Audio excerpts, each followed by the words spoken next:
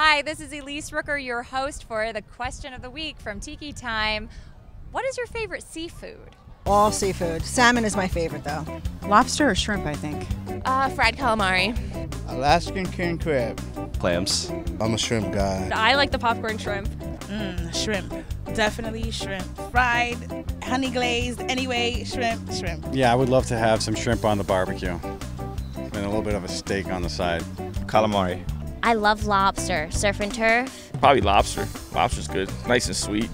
My favorite seafood has always been lobster. Uh, lobster. Some lobster, probably. Lobster roll. I go lobster roll. Lobster. Very popular.